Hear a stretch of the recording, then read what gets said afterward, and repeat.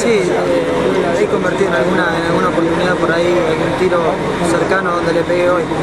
Este, pero bueno, es una, una de, las de las virtudes que, bueno, que tengo, lo que le puedo aportar al equipo y bueno, contento porque se ganó.